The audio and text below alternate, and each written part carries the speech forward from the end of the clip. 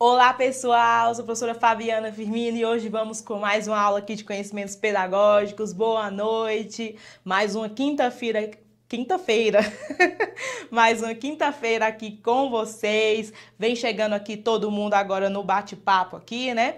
Essa aula hoje é uma resolução de questões. Preste atenção, né? Porque fazia tempo que a gente não fazia simulado e claro que eu vou começar aqui já esse ano abrindo com o melhor tema que é LDB e com certeza questões super atualizadas. E é o seguinte, vocês que estão aqui comigo, eu já vou começar da melhor forma possível. Ao longo aqui da resolução das nossas questões, eu já vou mostrando para vocês e contabilizando aqui quais são as principais temáticas, vou mostrando aqui para vocês, montando aqui para nós as principais informações as temáticas que já estão sendo cobradas de LDB nas nossas provas da área da educação. Então, preste atenção porque esse é o nosso primeiro simulado de LDB, questões atualizadas de 2023. Estamos iniciando ainda o ano, então eu pretendo fazer mais simulados e desta forma vocês que estão me acompanhando vão poder se atualizar ao longo de todo o ano, né? Anotando aqui todas as temáticas, tudo que as provas da educação está cobrando a respeito respeito de LDB. Então preste atenção, já pega o seu caderno para anotar. Vamos comigo aqui, vamos também ficar comigo até o final, analisar tudo e vocês vão ver também, gente, que as provas continuam cobrando tudo aquilo que a gente já vem estudando aqui, o que eu sempre falo para vocês do que é mais cobrado. Então vamos analisar aqui Vamos lá, começando aqui hoje a nossa aula de hoje, que é resolução de questões, é o nosso primeiro simulado de LDB que resolução de questões de 2023, tá? Eu falei primeiro porque eu vou fazer mais questões ainda de LDB ao longo aqui do nosso ano, porque questões a gente precisa sempre resolver. LDB é a Lei Geral da Educação, é a principal lei né, da educação, então o aluno precisa resolver muitas questões. Então, cada vez mais a gente vai atualizando vocês aqui e a gente também vai mapeando as provas aqui da nossa área da educação, porque é assim né, que a gente vai trazendo sempre o melhor conteúdo também para vocês. Aqui, esse material já está na descrição do vídeo, tem uma apresentação minha, né? Toda terça-feira estou aqui 19 horas dando aula de conhecimentos pedagógicos. Toda quinta-feira também tem aula aqui 19 horas para vocês. Aqui no canal Fabiana Firmino e no canal Pedagogia para Concurso, tá bom? Estamos entrando aqui no quinto ano, fazendo esse, esse é, trabalho, né? Produzindo material de qualidade, fazendo esse trabalho maravilhoso para vocês. Que bacana! Não esquece de deixar o like aqui nos dois canais. Se inscreve também, porque não paga nada, gente. Deixa o like aqui para nós, porque é fundamental. Se inscreve aqui nos dois canais também, porque é fundamental. Vamos começar então. Hashtag sala aqui Hashtag eu vou passar com a Fabi, que é a nova hashtag aqui desse ano de 2023. Todo mundo já ah, colocando, é, divulgando a gente lá nos stories, né? Marca a gente aqui, hashtag eu vou passar com a Fabi. Né? Gratidão vocês que já estão aí colocando a nossa hashtag, viu? Hashtag eu vou passar com a Fabi, porque esse ano de 2023 é o nosso ano da aprovação. Vamos começar? Vamos lá. As primeiras provas aqui já do ano de 2023, né? Estamos ainda iniciando o ano, né? Estamos no início ainda, né? Então aqui já FGV já começou aqui já aplicando, já tivemos prova banca FGV, banca Avança, é, muitas, muitas provas, tá, gente? Muitas bancas já aplicaram, tá bom? E aí eu selecionei aqui algumas das questões. Vamos lá. A alteração da LDB, Lei de Diretrizes e Bases da Educação, com a Lei 3.417, né, que substitui o modelo único de currículo do ensino médio, aqui está falando do, sobre a reforma do ensino médio. Sobre essa mudança, é correto afirmar que, gente, entra ano, sai ano, ensino médio continua sendo a temática, né, a polêmica aí também ainda nos nossos noticiários. E quando é o início do ano, sempre ele, ele surge ainda com mais força, né? Essas notícias, as informações, como que vai ser, aí vem os índices. Então, ensino médio não ficou de fora. E, inclusive, a gente vai ver ele aparecendo em vários pontos. Então, atenção, inclusive, a gente já estudou bastante, eu fiz para vocês perguntas e respostas sobre o ensino médio, o novo ensino médio, o novo ensino médio 2022, que era o ano também que iria iniciar todos, né? Todos, todos os anos de um sistema educacional como um todo. Claro, já começou antes, mas em 2022, 2022 iria estabilizar, estabilizar com todos. Então, sempre, sempre tem muitos vídeos que eu já fiz para vocês a respeito do ensino médio, tá bom? Então, vamos lá. Sobre esta mudança, é correto afirmar o quê? Substitui a base comum curricular pelos itinerários formativos específicos, né? Claro que não. É, não vai substituir a base nacional comum curricular, é um documento, né? E, claro, a reforma do ensino médio, a nossa LDB, é outro documento. Então, não me venha com esse papinho de que um vai substituir o outro. Isso aqui a gente já falou várias vezes, né? Cuidado com essa questão de, ah, uma coisa substitui a outra. Cada documento tem o seu propósito, tá? E a gente já fez vários vídeos também a respeito disso. Então, isso aqui o aluno não cai mais, né? Estabelece a formação técnica profissional como a finalidade do ensino médio. Aqui não vai estabelecer essa formação técnica como como se estivesse colocando aqui o foco né, nessa nessa nessa formação é, técnica, né, como tendo finalidade. Não é esse aqui também o propósito único aqui, como foi colocado. Visa centralizar e isolar as modalidades de currículos em divisões disciplinares. Na verdade, a proposta que, que veio ao contrário disso, né, né, parar de centralizar e de dividir né, essas disciplinas. A proposta é justamente flexibilizar, né, diferentemente disso. Privilegia a flexibilidade, isso sim, né, da organização curricular e o protagonismo juvenil. Sim, e aí, por mais que às vezes o aluno fala, não, eu, eu discordo, eu acho que não, não vai privilegiar a flexibilidade, ok, né? Mas os nossos documentos, eles vão tratar disso, que o, o ensino médio, a proposta é essa, e é isso que nós temos aqui, né, em relação é, a essa base legal, né? E é sim a letra D. Isso sim essa mudança propõe. É, essa flexibilidade dessa organização curricular, tirando esse ensino de caixinhas, transformando ele de uma forma mais flexível, essa é a proposta, e o protagonismo juvenil, ele vai estar a todo momento, né, né, tendo uma base nesse currículo, tanto lá desde o início, educação infantil fundamental, até a base nacional também vai trazer isso, resgatar isso, e aqui no ensino médio, letra D, certeza, tá? Porque é essa a proposta. Exclui a importância da integração entre educação e questões socioculturais.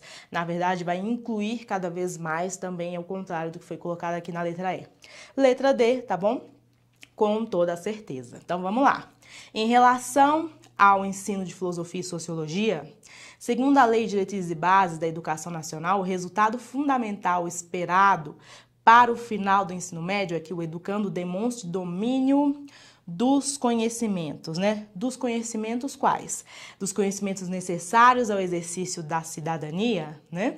Agora, é que o estudante saia desse ensino médio é, com os conhecimentos, com o domínio dos conhecimentos suficientes para aprovação no vestibular, com o domínio dos conhecimentos exigidos para ministrar as disciplinas de filosofia e sociologia, para que demonstre domínio dos conhecimentos básicos para o exercício de profissões técnicas, ou para que demonstre domínio dos conhecimentos proporcionais ao seu interesse individual. Bom, aqui também é mais uma das é, informações em que, se o aluno não tiver muito bem consolidado, a informação do que tem a teoria em relação ao ensino médio e todas as suas polêmicas, o que é o documento oficial, o que tem a base, o que tem a LDB, o que traz isso, a proposta, e o que tem de senso comum, o que tem de informações, opiniões, né, do, da, ali dos noticiários, ele cai nesse tipo de questão. E é claro que 2023, né, após pandemia, então, nós temos uma concorrência ainda maior nos nossos concursos, né, porque muita gente perdeu o emprego, com certeza. Nós temos ainda impacto disso no nosso, no nosso sistema educacional como um todo, cada vez mais Claro, as secretarias, os municípios vão exigir desse profissional que está chegando da educação que conheça muito bem os nossos documentos oficiais. E esse profissional ele precisa estar atento aqui às informações que constam, informações reais, né? E na reforma do ensino médio, o professor, tendo opinião contrária ou não, essa informação que está aqui, ele precisa né, é, conhecer a informação. É assim que ele vai debater, é assim que ele vai discutir, é assim que, inclusive, ele vai lutar né, por melhorias. É assim né, que a gente começa, é conhecendo realmente a informação, tendo a informação correta. Né? Então, assim, é, o interessante em relação ao que mostra no nosso documento oficial, no nosso sistema, é que esse ensino médio, o aluno sai assim, tendo é, esse, esse domínio do conhecimento de exercer a sua cidadania, que ele tenha esse esse propósito, que ele tenha esse valor justamente de poder conhecer, né, é, exercer o seu direito, também conhecer ali o que é direito, o que é dever.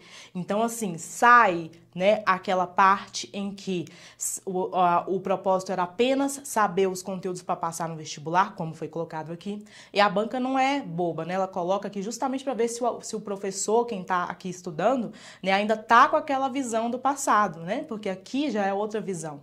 E o professor precisa entender isso, né? Não é mais esse, esse propósito. Só passar no vestibular. E por que que colocou justamente ensino de filosofia e sociologia? Porque essas duas aqui estão bem no rol da polêmica polêmica, né, quando a gente vê ali é, as discussões e os debates, né, em relação ao estudo de filosofia e sociologia, tá? Então, sim, é nesse conhecimentos necessários ao exercício da cidadania. Esse, esse aluno precisa demonstrar o domínio desses conhecimentos. Não apenas conhecimento suficiente para passar no vestibular, não só que esse aluno saia com conhecimentos de qualquer jeito só para poder ministrar essas disciplinas, né, às vezes só decorou, não só com o, o, propósito de exercer a profissão técnica ou só o seu, o seu interesse individual, né? É sim um, um propósito maior né, desse exercício da cidadania aí sim a pessoa concordando ou não, né? Mas o documento, a nossa legislação vai falar isso, tá bom? Então, isso aqui é que é interessante. Letra A. Agora, aqui vocês que estão comigo, já vou colocar aqui já, inclusive, estão vendo aqui, né? Ensino médio. Já trouxe aqui para vocês, porque eu já vou começar a montar aqui o meu esquema, já começa aí também. Pega o seu caderno, já começa a montar aqui que LDB, os principais tópicos que estão sendo já cobrados pelas provas de educação, ó, ensino médio, já vou colocar aqui como uma das prioridades para eu já começar. Se eu ainda tenho dúvidas, se eu ainda estou ainda é, é, com algumas dificuldades, errando algumas coisinhas, já vou colocar aqui, você que está estudando, nas minhas anotações, né, é, enfatizar mais ensino médio, porque as bancas estão exigindo mais, tá bom? Então vamos lá. A LDB, Lei de Diretrizes Básicas da Educação Nacional, em seu artigo 12, prevê que os estabelecimentos de ensino devem elaborar e executar sua proposta pedagógica, tá? No que se refere à proposta pedagógica, ela é um instrumento teórico-metodológico que objetiva enfrentar os desafios do cotidiano escolar, ressignificando as ações e permitindo a maior autonomia à instituição escolar. Desse modo, a proposta pedagógica deve. Ah, gente, isso aqui é muito importante a gente entender, né? Porque a, o PPP o que é de é, estabelecimento de ensino, que, é, o que é obrigação do estabelecimento de ensino, inclusive no final do ano passado eu fiz um vídeo exatamente o que é de obrigação do estabelecimento de ensino, porque muitos professores é, ainda erram e o, o ano de 2022, as provas da educação cobraram muito essa temática. Então, a gente está vendo ainda esse fenômeno acontecer aqui em 2023. Podem anotar também, tá? Então, aqui ainda tá, está acontecendo isso. E depois, quando terminar, vocês vão ver esse vídeo aí que eu fiz, tá bom? Então, vamos lá falando aqui sobre o PPP e sobre o que o, o, o, estabelecimento de ensino né, tem obrigação. Legitimar as ações específicas de alguns grupos de trabalho, né? Assim, tipo, bem segregando, né? Alguns grupos de trabalho, uns sim, outros não, errado, né? Ajustar os comportamentos de professores e autonomia escolar ajustar, né, como se fosse algo, né, ali no, no, sentido de padrão, né, eu vou ajustar, né, e ainda colocou assim, ajustar a, a, é, em que modo, né, em que perspectiva, em que régua é essa que vão ajustar? Errado também. Agir como instrumento de atualização e ajuste da vida social dos estudantes. Já pensou, né, como se fosse a escola fosse agir como instrumento de atualização, né, e ajuste da vida social desses estudantes. A escola escola, ela vai justamente trazer a parte social, né, do estudante, ali a família, inclusive, está atuando, né? Aqui a, a escola, ela vai trabalhar dentro do seu ambiente escolar e dentro daquela educação escolar, né? defender os conteúdos tradicionais e legitimar as aprovações escolares, né? Os conceitos tradicionais, defender isso, o que é tradicional ficou lá para trás, como a gente já falou, né? Essa educação tradicional, ela deve ficar lá para trás, que nós estamos hoje vivendo um novo contexto. Legitimar as aprovações escolares, né? Aquela classificação ainda também. Então, errado duas vezes a letra D. Agora, articular famílias e comunidade, criando processos de integração da sociedade com a escola é sim, né, parte aqui do, da obrigação do estabelecimento de ensino, dentro aqui de elaborar e executar a sua proposta pedagógica. E aqui a proposta pedagógica, ela deve sim fazer essa articulação, porque o PPP, que inclusive está aqui, né, já trouxe aqui pra gente, né, eu coloquei aqui já fazendo, já, vocês estão aqui, ó, do outro lado aqui, ó, já vou até colocar aqui de, em cima da minha casinha, tá? Já já já tô modelando aqui a minha casa. O PPP ele vai, ele precisa fazer essa articulação porque a participação de todos é fundamental e isso a gente, né? Isso já é clichê aqui para nós que estamos estudando isso há muito tempo. Letra E e ele vai sim criar esses processos de integração, né, de todos com a escola. Diante desses itens aqui, né? O item E está com certeza aqui dentro, né, do que é a, é esperado. E, inclusive, aqui no artigo 12, quando fala estabelecimentos de ensino, que como eu falei, né, que é obrigação, aqui vai aparecer aqui, ó, gente, articular-se com as famílias, comunidade, é no processo de integração da sociedade com a escola. Vocês que seguem a gente nas redes sociais, isso aqui, esse artigo 12, assim como vários outros é, pontos interessantes, importantes e pontos que são mais cobrados da lei, sempre a gente posta para vocês esquemas lá nas redes, tá bom? Então depois também, se você ainda não está seguindo a gente, segue lá, Fabiana Firmino, Pedagogia para Concurso, tá bom? Porque isso aqui também serve demais aí para vocês que estão estudando. A Lei de Diretrizes e Bases da Educação Nacional de 96 estabeleceu as diretrizes e bases da educação nacional em seu artigo 3 apresentou os princípios básicos sobre os quais o ensino deve ser ministrado. A LDB foi atualizada, tá? Pela Lei Federal 12.796, na época aqui, né, gente, 2013, gente, eu quando saiu isso aqui, aí eu fiz um vídeo, foi um dos primeiros vídeos que eu fiz, assim, de, de LDB, é, para a internet, estava no início de tudo. E hoje, né, gente, 2023, antes eu falava bem assim, a lei 2796, é, como se fosse ali, né? Agora faz 10 anos, né? Inclui o seguinte princípio. E toda vez que esse princípio aparece, eu sempre falo para vocês, né? que para mim foi um, eu acho um ganho muito para mim, né? Para todos, né? Mas pra, eu sempre acho um ganho muito significativo quando incluiu aqui a consideração com a diversidade étnico-racial, tá? Aqui todos fazem parte sim dos princípios, tá? É, aqui quando se fala é, dos princípios, inclusive, cadê gente? Os princípios aqui para vocês eu trouxe aí eu, alguém, alguém iria duvidar que o artigo 3 não iria aparecer aqui já em janeiro, fevereiro de 2023 nas provas? Não, né? Toda vez quando a gente dá aula aqui para vocês, quando eu apresento para vocês maratona, simulado, ou LDB de alguma banca, ou LDB em algum momento, eu sempre falo, gente, Artigo 3 é o que é mais cobrado de LDB. Os princípios são os mais cobrados de LDB. E aqui não poderia né, ser diferente. Então, já no início aqui, ó, Vou até colocar aqui, como eu falei para vocês, inclusive, os princípios aqui, né, bases, são as bases, os pilares, é o que vai sustentar aqui a lei, né, e vai sustentar nesse sentido de, de tudo em que a lei vai oferecer, vai mostrar para nós, é, esses princípios vão fazer parte. E isso aqui é muito interessante a gente entender, tá bom? Então esses princípios aqui, eles vão aparecer e claro, né, já no início aqui do nosso ano, já sendo cobrado aqui também nas nossas provas, tá bom? E aqui os princípios só para vocês entenderem como eu falei lá das nossas redes sociais, né? Aqui é um dos esquemas que a gente já postou para vocês, tá? É, aqui é, ele aparece, né, o artigo 3 e inclusive em 2021 foi atualizado, né, aqui mais uma vez também incluindo e respeitando a nossa diversidade. Nem todos os slides eu vou ler, porque eu falei para vocês, né, que isso aqui fica para vocês, né, porque eu estou explicando aqui, tá bom? E aí isso aqui, é, depois vocês vão pegar, fica o material para vocês, né, com certeza. É, aqui, valorização da experiência escolar, sim, esse aprimoramento não tem, tá? Pluralismo de ideias e concepções pedagógicas, mas o que foi incluído aqui pela Lei 2013 foi justamente a consideração com a diversidade étnico-racial, que seria a letra C. É isso que a gente precisa entender, né? Princípios, então, com certeza, né? Com certeza eles teriam que aparecer, porque sempre vão aparecer aqui nas nossas provas.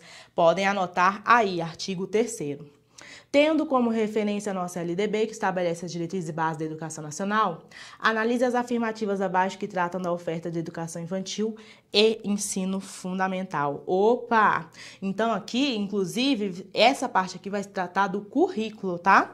Currículo que sempre também aparece, sempre, sempre, sempre aparece aqui a todo momento, tá? Vamos lá.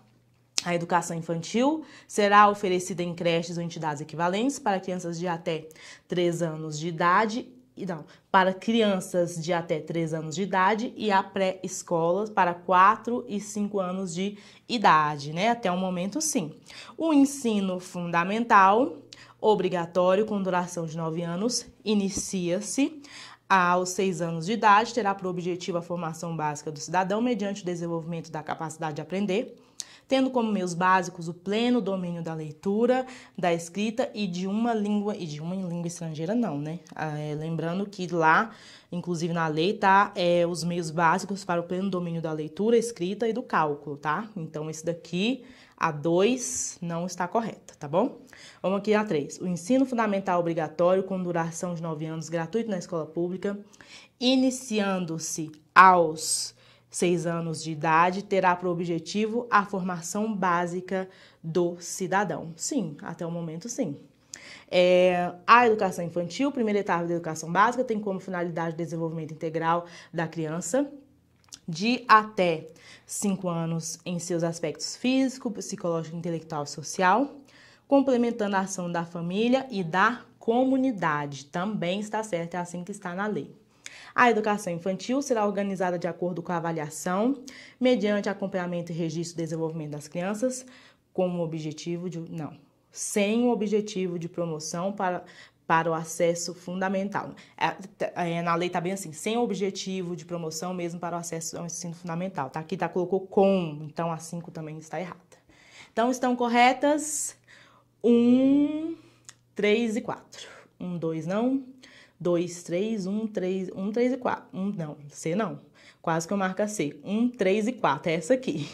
É a D, tá? D que está correta, não a C como eu ia colocar ali, viu? Cuidado, se lê muito rápido, correndo aí na prova, tá bom? Presta atenção. Letra D, tá? Vamos lá, interessante, né, gente? Até o momento aqui a gente vai vendo aqui, inclusive, currículo sendo cobrado, né? Então, inclusive, ó, vocês estão aqui comigo, ó, currículo currículo aqui, ó. Deixa eu já ir organizando. vou montando aqui minha casinha aqui. Minha casinha não, perdão, minha escola, tá? Minha estrutura aqui de escola. Conforme artigo 3 opa, primeiro, né? Aquele artigo 3 lá, deixa eu até ver aqui. Aqui o artigo 3 era FGV, né? Agora nós estamos aqui na questão 6. É outra banca, tá? Para o aluno achar, ai, mas não. Como eu falei, cai muito, cai demais, despenca a todos, a todos os anos. Vários vídeos eu falo isso e a gente já está no início só de 2023, a gente já está vendo, né? São bancas diferentes. Artigo 3 mais uma vez. Conforme o artigo 3 da nossa lei, que estabelece as diretrizes e bases da educação nacional, o ensino deve ser ministrado com base em princípios. Sob eles, analise as proposições a seguir. Igualdade de condições para o acesso e permanência na escola, certo? Definição na escola das ideias e concepções pedagógicas a serem seguidas, errado né? Gente, que absurdo também, né? É, aqui é como se fosse padronizando também, né? E, e na verdade, quando a gente fala assim, é, a questão das concepções pedagógicas é pluralismo de ideias e concepções pedagógicas, certo? Pode ser várias. Coexistência de instituições públicas e privadas de ensino, certo? Aqui tá certo. Gratuidade do ensino público em estabelecimentos oficiais, também Gestão democrática de acordo com as possibilidades de cada escola. Não, gestão democrá demo democrática. De gestão democrática no ensino público. Não é do jeito que está aqui. Então, essa aqui também está errada. Então, ficou 1, 3 e 4. Vamos lá. Estão corretas apenas 1, 2 e 3. 1, 2, 3 e 4. 1, 3 e 4. 1, 3 e 4. Acho que é essa aqui mesmo. 1, 3 e 4. C. 2, 4, 5, 3. C mesmo. 1, 3 e 4, tá vendo? Letra C. Mais uma vez, os princípios estão aqui, tá bom? Volte aqui um slide, né, para sempre você conferir. É a letra C mesmo. Vamos lá, então, mais uma vez aqui, artigo 3 tá? De acordo com a nossa LDB, a Lei de Diretrizes e Bases da Educação Nacional 9394, o artigo 26, parágrafo 10, a inclusão de novos componentes curriculares de caráter obrigatório na dependerá da aprovação do de homologação do Ministério do Estado da Educação. Vamos lá. Artigo 26. É, a inclusão de novos componentes curriculares de, de, caráter obrigatório na Secretaria Estadual de Educação. Não fala sobre isso lá. Na Base Nacional Comum Curricular, sim. Na educação não tem, na educação de jovens e adultos não fala inclusão de componentes curriculares na EJA. Base Nacional Comum Curricular. Ou é a letra B ou é a letra A. Ou a letra B ou é a letra E. Porque lá fala sobre caráter obrigatório sim na BNCC. Dependerá de aprovação do, de quem?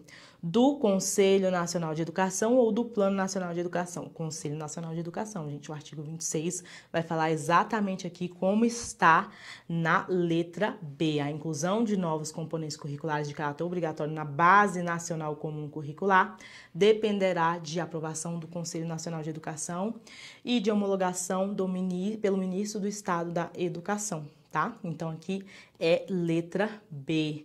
Então assim, aqui caindo também a respeito, tá? Sobre a BNCC, né? E falando sobre a inclusão, inclusive teve um, um vídeo que eu falei a respeito dessa inclusão, tá? Ah, não, foi uma pergunta, acho que foi uma pergunta, uma dúvida que um aluno mandou ao vivo no momento que eu estava é, colocando, e aí o aluno perguntou como que faz, faria ali a atualização da, da BNCC dos conteúdos, e aí eu tinha explicado justamente isso, e eu tinha citado o CNE, tá? O Conselho Nacional de Educação, exatamente aqui, tá bom? É a questão letra B, aqui como nós conferimos no artigo 26, tá? É assim que está na nossa LDB. Assinale a opção que identifica corretamente uma finalidade da educação básica a partir do ensino médio, segundo a nossa LDB. Ensino médio, né? Aqui, contudo, ele sempre aparece mesmo, tá? Desde a reforma. Então, vamos lá. Qual que é a finalidade do ensino médio? Preparação básica para o trabalho e cidadania domínio da leitura e da escrita do cálculo, desenvolvimento da capacidade de aprendizagem, compreensão do ambiente natural e social, fortalecimento dos vínculos e da família. Olha só, gente, aqui preparação básica para o trabalho e cidadania do educando. Aqui lá no artigo 35, quando fala do ensino médio, vai tratar sim sobre as finalidades, tá? Lá na nossa LDB. Dentro das finalidades, nós temos aqui a preparação básica para o trabalho e o exercício da cidadania do educando. Aí nós temos a consolidação e aprofundamento dos conhecimentos adquiridos lá no ensino fundamental, o aprimoramento do educando como pessoa humana, tá? Incluindo assim a sua formação, e a compreensão dos fundamentos científicos, tecnológicos também. Aí quando se fala aqui sobre finalidades, né? O enunciado foi muito preciso quando falou assim: qual dessas abaixo é uma finalidade? Porque aqui o aluno poderia confundir, por exemplo, ah, um, um, que poderia, pode ser trabalhado no ensino médio, fortalecimento de vínculo com família, compreensão do ambiente natural social. Então, assim, se o aluno ele só por, por é, sem ler a teoria está só pelos conhecimentos que ele entende, compreende, ele erra esse tipo de questão, tá? Então aqui, mais uma vez, você que não está estudando com tanto empenho o ensino médio na parte legal, com a base legal, aqui mais um ponto, tá bom? Porque muita gente ficou de fora, sim, porque aqui não entendeu exatamente que foi pedido a finalidade, tá? E aqui está lá no artigo 35 da nossa LDB, tá bom? Então aqui seria letra A, com toda certeza, e aqui mostra para vocês exatamente isso, porque está lá no artigo 35 da nossa LDB tá? Então vamos lá, seguindo, seguindo. Quanto aos processos avaliativos escolares na educação básica, parte integrante do currículo, há de partir do que determina a nossa lei, né, 939496, que estabelece as diretrizes e bases da educação nacional em seus artigos 12 e 24, né? Eita, gente, cujas definições gerais prescrevem. Então, vamos lá. O 9, né, está perguntando aqui sobre o artigo 12 e 24 é, mais uma vez falando sobre também o currículo, né? Aqui eu vou colocar para vocês, ó, olha só, artigo 12 e 24. É, nós estamos na questão 9 é, é, isso. Nós estamos na questão 9. Não é a primeira vez que eles estão aparecendo aqui. Então, estabelecimentos de ensino, é, como eu tinha falado, no ano passado eu tinha feito essa pesquisa e eu tinha chegado nessa conclusão de que estava sendo cobrado demais em todas as provas é, o que é de obrigação das escolas. E aqui em 2023 isso continua acontecendo. Então, mais um ponto para a gente poder ó, enfatizar ainda mais o artigo 12, tá? Então, comece aí, já anote aí. E o artigo 24 também também, tá bom? Em relação aqui a essa parte do currículo. Inclusive, eu vou até colocar aqui também, tá? Dentro da minha organização, para vocês não esquecerem aqui, tá?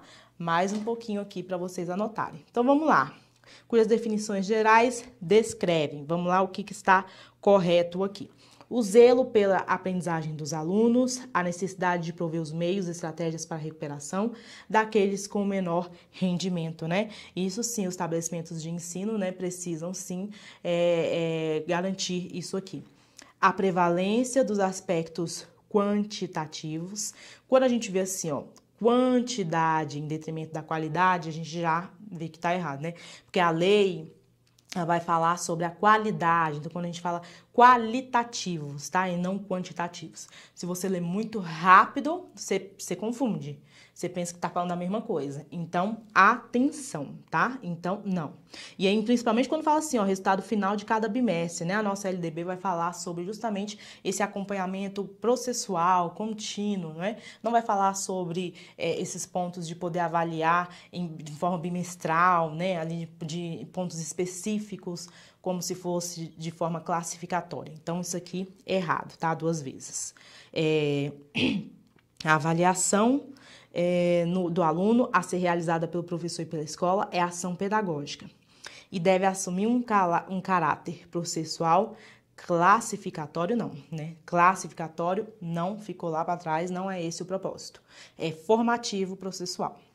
A prevalência dos aspectos qualitativos, sim, tá? Então, não quantitativos, qualitativos, sim sobre os quantitativos, isso mesmo, bem como os resultados ao longo do período sobre os de eventuais provas finais, certo, tá? Então, até o momento aqui a 1 está correta e essa aqui a 4, tá?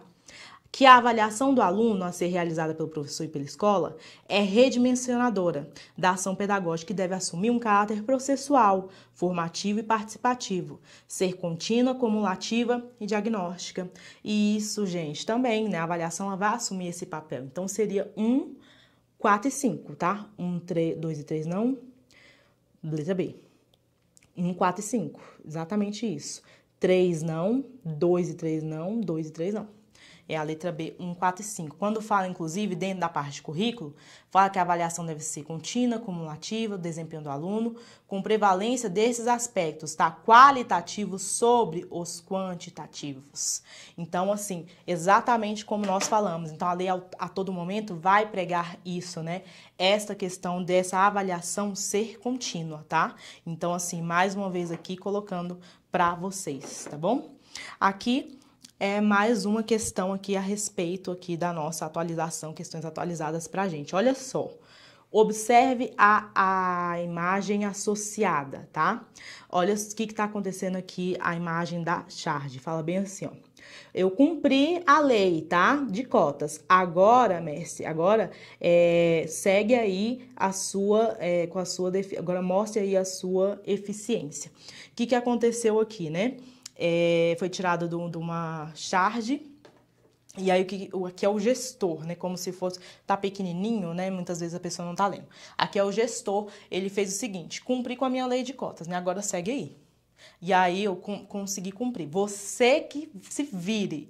Ou seja, aí coloca ali os que estão precisando, né? Por exemplo, né? Indo, é, garantiu ali, né? Que ele tivesse o acesso mas só o acesso, né? Em nenhum momento ali ele vai ter a permanência, né? No primeiro dia que ele for, segundo, terceiro, com tantos obstáculos, ele vai acabar desistindo. É isso que a charge aqui quis colocar, né? Infelizmente.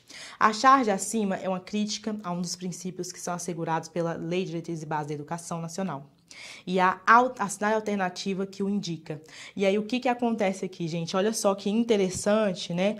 É, a, como essa banca, e, olha, e mais interessante ainda, essa mesma charge, tá? Essa mesma questão, eu fui, eu resolvi ela essa semana outra banca e não foi é, fazendo menção à LDB, fazendo menção à Constituição, que também tem esse princípio. Então você vê que as bancas vão repetindo e o próprio a própria forma, né? Porque aqui é uma forma de interpretar a lei, né? Ali, mas também se repetiu aqui, tá? E aí aqui que está acontecendo, garantiu aqui a, a que o aluno, né? Fosse atendido, mas não está garantindo que ele continue, né? Porque o aluno vai desistir, ele não tem nem como acessar. Então, dentre os princípios da nossa LDB, que mais uma vez aqui, né? Ó, os princípios aqui aparecendo, ó, artigo 3 né, gente? Mais uma vez. Liberdade de aprender, ensinar, pesquisar e culturar e divulgar a cultura, o pensamento, a arte saber. Pluralismo de ideias, concepções pedagógicas igualdade de condições para acesso, né? E condições para acesso e permanência na escola. Não está garantindo, né? Respeito à liberdade, apreço à tolerância e valorização da experiência escolar. Não está garantindo aqui, tá? É justamente igualdade de condições para acesso e para permanência desse estudante. Então, aqui só está garantindo acesso, né?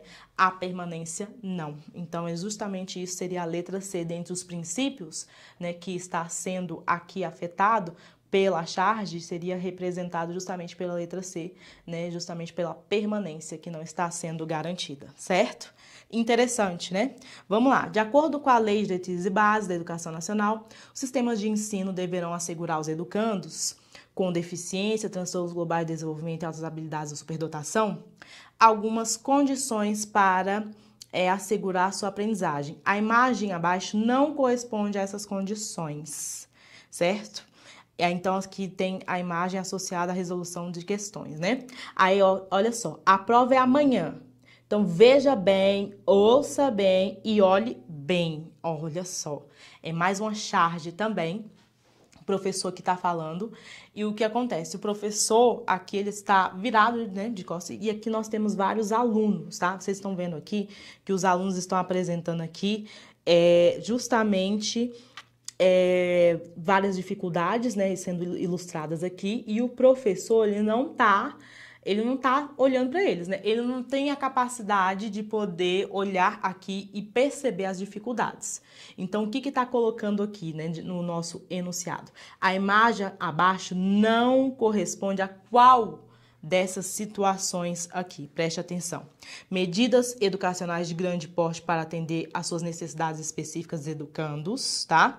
Aqui essa imagem não corresponde isso daqui que está falando. Qual dessa na imagem, qual dessas situações, essas condições aqui que os alunos estão não estão sendo representadas? Terminalidade específica para aqueles que não puderam atingir o nível de conclusão do ensino fundamental, tá?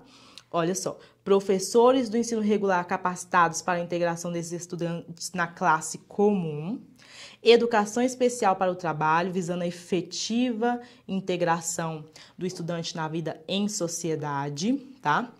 É, acesso igualitário aos benefícios dos programas sociais suplementares. Preste atenção aqui. Há, dentro dos itens mencionados, Perceba que a pergunta foi sobre a imagem, tá? O que corresponde a esta imagem? Então, a pergunta vai justamente aqui. A imagem abaixo, esta imagem, ela não corresponde. Por exemplo, a letra A, que muitos ficaram na dúvida. Medidas educacionais de grande porte, tá? Para atender às suas necessidades específicas é, dos educandos. Mas olha a letra C. Professores do ensino regular capacitados para a integração desses educandos. Gente, quando se fala aqui da imagem, nós não estamos falando de medidas educacionais, nós estamos falando de professor, né? Essa aqui é, é a ideia central, o ponto central. Então, por isso que a resposta vai gerar justamente aqui na letra C, porque vai tocar no ponto central da imagem, porque essa questão é uma questão mais de interpretar mesmo, né? E falou para interpretar a imagem. Então, muitas pessoas ficaram na dúvida na letra A. Ai, mas não corresponde às medidas educacionais de grande porte para atender às necessidades dos educandos. Ok, mas só que a questão enunciado pediu para ver a imagem. Então, é para a gente julgar justamente a imagem. A imagem mostra justamente o professor que não é capacitado para integração dos nossos educandos, tá? Público da educação especial dentro das nossas classes regulares. Essa, essa imagem representa exatamente isso. Então é assim que você precisa julgar aqui este item que está extremamente claro. Então, muitas pessoas vão colocar A, ou O, ou C, ou D, mas a letra, ou o D, ou E, ou B, mas a letra C é o que representa, sem tirar e nem pôr, a situação do que? Da imagem, que foi o que a banca pediu, tá bom? Então, preste atenção aqui e, infelizmente, infelizmente, infelizmente, mesmo com a dor né, no coração, é a mais pura verdade, né? Quando a gente vê esse tipo de, de situação e quando eu chega a dar um, um, um aperto, né? Principalmente eu que, que tenho né, um, um, filho especial, né? Aí dá um aperto geral aqui, né? Mas enfim, vamos para a próxima, tá? E olha, olha aqui, vamos lá, só recapitulando. PPP, nós temos aqui os princípios, tá? Currículo, aqui nós temos currículo, quer dizer, aqui nós temos o ensino médio, os princípios que estão sendo cobrados. Olha, artigo 24, artigo 12, já apareceu aqui o artigo 3 mais do que nunca, junto com os nossos princípios, tá? Eu vou colocar aqui junto com o artigo 26, que apareceu também, vou montando aqui a minha escola, artigo 35 lá do ensino médio, tá bom? Vou chegar mais para cá, tá? A educação infantil também apareceu. E aí eu acho que eu vou organizar aqui assim. Acho que assim. Assim. E assim. Isso. Assim fica ótimo. Até o momento. Estão anotando aí, né? Ótimo. Eu acho que é esse que tá de cabeça. Tem um aqui que tá de cabeça para baixo, né? Depois alguém mostra aí. Pronto. Estão anotando aí, né? Já anote aí. Isso que eu tô deixando bem claro aqui para vocês estão aqui olhando, tá bom? Que aí vocês já vão anotando aí, já no caderno de vocês, o que já está aparecendo muito de LDB já nos, nas nossas primeiras provas de educação já em 2023, tá? Pra gente não ficar com nenhuma dúvida, tá bom? Vamos lá daquilo que a Lei de Diretrizes e Bases da Educação Nacional LDB estabelece com relação ao calendário escolar indígena, incluído aqui estabelecido pelo RESNEI, cabe ressaltar que o mesmo não deve, tá? O nosso calendário aqui indígena, tá? O que, que ele não deve? Ele não deve, cabe ressaltar que o mesmo não deve adequar-se às peculiaridades locais, é claro que deve sim, né? Adequar-se às peculiaridades climáticas, deve com certeza se adequar sim. Adequar-se às peculiaridades econômicas, deve sim, a nossa lei prevê isso, né? Não deve favorecer que a escola pode organizar-se de acordo com as conveniências culturais, com certeza ele é livre sim para se organizar dessa forma, o nosso calendário aqui, tá? É, escolar indígena. Ele não deve obrigar que a escola cumpra o calendário escolar definido na Base Nacional Comum Curricular, BNCC, em determinação às unidades temáticas e objetivos de conhecimento. Aí sim, Isso aqui ele não deve obrigar, tá?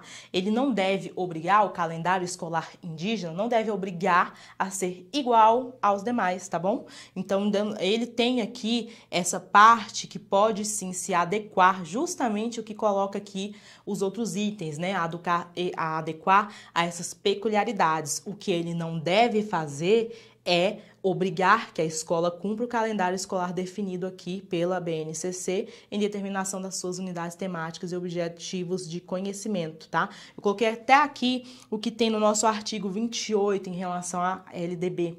Organização escolar própria, incluindo a adequação do calendário escolar, as fases do, do ciclo agrícola e as condições climáticas, adequação à natureza da zona do trabalho rural. O fechamento das escolas do campo indígenas e quilombolas será é, precedido de manifestação do órgão normativo do, sistema de, do respectivo sistema de ensino, que considerará a justificativa apresentada pela Secretaria de Educação, mas enfim, o artigo 28 vai falar ali sobre essa parte também da educação ali do, do campo, suas peculiaridades, sobre o calendário, e aqui vai citar né, ali ao longo do texto é, e também ao longo de toda a nossa LDB é, os pontos em relação a essa adequação, como nós já estudamos tá, na nossa LDB. Então, o calendário, apesar de aqui ter aparecido aqui na é, IBFC, né, a banca IBFC que colocou aqui é, o calendário específico aqui do calendário escolar indígena, a temática calendário é algo que vem aparecendo muito sempre, é, de uma forma geral, de LDB, então vale também o nosso destaque aqui para as nossas anotações, tá bom? Para a gente colocar aqui é, dentro das nossas anotações para também o aluno continuar estudando, tá? Então continue aí, porque calendário é uma temática também bem possível que apareça nas próximas provas. De acordo com a LDB, a Lei de Diretrizes e Bases da Educação Nacional, é, o artigo 26 aí de novo, hein, gente? Olha aqui, banca avança agora, ó. Tá aqui, hein, os nossos artigos, artigo 26 tá aqui, né? Outra banca, ele continua, tá bom? Artigo 26, parágrafo 3 educação física agora. Opa, olha aqui, chegou, apareceu, né? A educação física é muito cobrada, né, gente? Entrando, saindo e ela continua aqui sempre.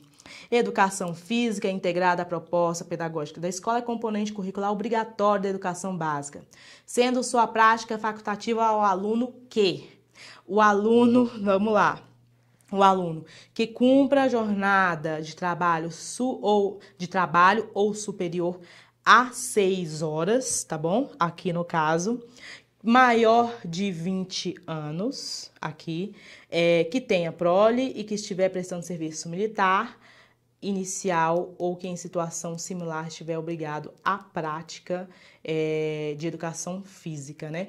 Gente, ela sempre vai aparecer, né? Aqui no caso, eu acredito aqui que só a 2, né, que está errada, né? Que não é 20, é 30, né? Só a 2, o resto todos estão aqui.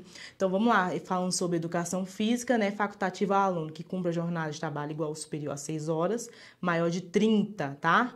Que estiver prestando serviço militar ou que estiver em situação similar, estiver obrigado à prática de educação física, amparado pela, lei ali, que é aquele da questão do atestado, e que tenha prole, tá bom? Então, que cumpra a jornada de trabalho né, igual ou superior a seis horas, né? Aqui faltou a palavra igual, né? Agora que eu tô vendo, né? Mas eu acho que aqui pode ter sido até aqui na hora que a gente foi digitar, tá? Porque aqui né? Mas é igual ou superior a 6 horas. Só dois que está errado. Então, ficou 1, 3 e 4. Deixa eu ver. 1, 2 e 3. 1, 2, 1, 3 e 4. Seria a letra C. 2 e 4. 1, 2 e... 1, 2 e 4. Não. Seria 1, 3 e 4. Seria a letra C, tá? Se fosse considerar 3 e 4, deixa eu ver não tem 3 e 4, tá? Porque se vamos supor que a 1 se fosse anulada por conta que não tem a palavra igual, não teria 3 e 4. Então, não teria. Então, seria a letra C mesmo, tá? Então, aqui, letra C, aqui, né, de acordo com o que tem no nosso artigo. E aqui nós temos o nosso gabarito. Deixa eu só colocar mais aqui, né, pra gente, essa informação aqui. Vou colocar aqui assim, gente. Onde eu coloco essa? Vou colocar assim. Ah, assim, ó. Vou arrumar desse jeito aqui, tá? Arrumar assim, assim, bem arrumadinho para vocês. Legal, né? Ficou legal aqui. Já anotaram tudo? Maravilhoso. E aí, esse aqui, ó, ó o gabarito aqui passando na tela, tá? E aqui tem as redes sociais, Pedagogia para Concurso Fabiana Firmino. E aí nós vamos continuar o seguinte, vocês estão aqui comigo, tá? Esse daqui é o, início, é o nosso primeiro simulado de questões atualizadas de 2023 de LDB. E aí eu vou continuar fazendo pra gente, que eu vou atualizando aqui das bancas e a gente vai continuar, inclusive, fazendo este mapeamento durante, ao longo do ano de 2023, para a gente sempre estar aqui à frente em relação a essas temáticas, porque eu sempre trago para vocês, né? Mas esse ano nós vamos fazer aqui com vocês acompanhando, porque eu sempre faço isso, né? Mas é eu estudando e sempre eu, quando trago um vídeo, é no final do ano, no início do ano, e eu falo para vocês um apanhado geral né, do que eu vi. Tá? Agora vocês vão acompanhar comigo, que isso aqui vai ser muito bacana. Inclusive, depois vou montar é, uma super escola aqui com esses principais tópicos e aí eu coloco uma foto para vocês também nas redes, vai ser bacana, né, gente?